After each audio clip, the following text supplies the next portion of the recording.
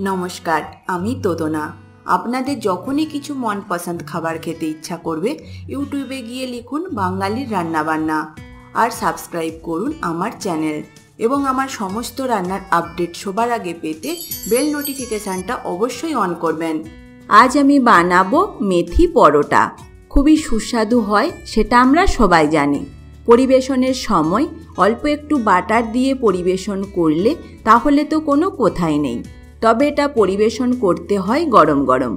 তাহলে দেখে নিন, এই মেথি পরোটা আমি কীভাবে বানিয়ে থাকি। আমি এখানে দু কাপ আটা নিয়েছি আর মেথি শাক নিয়েছি দেড় কাপ। প্রথমে মেথি শাক ভালোভাবে ধুয়ে নিতে হবে। এরপর শাক সহ যে নরম ডাঁটা থাকে সেটা নেব।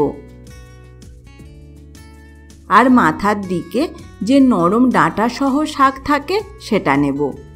আর এই শক্ত ডাঁটাটা ফেলে দেব। এবার এই শাক ছোট ছোট করে কুচিয়ে নিয়েছি। পরোটার জন্য আটা মেখে নেব। এর মধ্যে দেব দু টেবিল চামচ বেসন। বেসন কিন্তু অবশ্যই দেবেন। এতে স্বাদ কিন্তু অনেকটাই বাড়ে। দেব গ্রেট করা আদা এক চামচ, লঙ্কা গুঁড়ো আর হলুদ গুঁড়ো। দুটো মিলিয়ে দেব আধা চা চামচ। সামান্য দেব জোয়ান। সামান্য গোটা মৌরি। ঝাল বুঝে দেব কাঁচা লঙ্কা কুচি। তবে কাঁচা লঙ্কাটা কাটতে হবে ছোট ছোট করে। দেব এক চামচ সাদা তেল। দিচ্ছি পরিমাণ মতো নুন।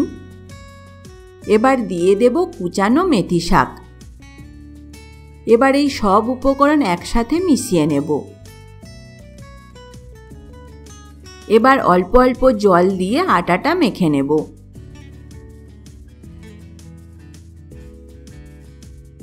আটা মেখে নিয়েছি, এতে সামান্য তেল দিচ্ছি। তেল মাখানো আটার গায়ে লাগিয়ে নেব, এতে আটা মাখানোটা খুবই মসৃণ হয়। এখন এটা ঢাকা দিয়ে রেখে দেব পনেরো মিনিট, তবে হাতে যদি সময় থাকে তিরিশ মিনিটও রাখতে পারেন। পনেরো মিনিট পর ফিরে আসলাম। আটাটা আবার একটু মেখে নেব। এবার এটা থেকে লেচি কাটব। এখান থেকে একটা লেচি নিচ্ছি। এটা প্রথমে ভালোভাবে গোল করে নেব। বেলবার জন্য একটু শুকনো আটা লাগিয়ে নেব। তবে এটা কিন্তু খুব বেশি আটা দিয়ে বেলবার দরকার নেই। এবার এটা বেলে নেব। যতটা পারা যায় পাতলা করে বেলে নেব। তবে এটা উল্টে পাল্টে বেললে বেলাটা খুবই ভালো হয়। দেখতেই পাচ্ছেন ঠিক কতটা পাতলা করে বেলেছি। একইভাবে আরও পরোটা বেলে নেব। এবার এগুলো ভাজবার জন্য পাত্র বসিয়ে দিয়েছি। প্রথমে পাত্রটা ভালোভাবে গরম হতে দেব। গরম হলে পরোটা দিয়ে দিচ্ছি।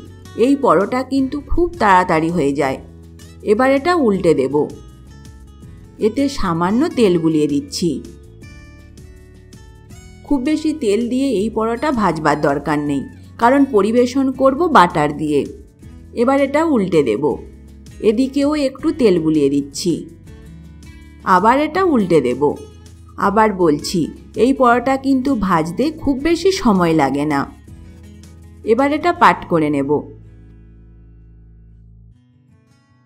তৈরি করে নিলাম মেথি পরোটা।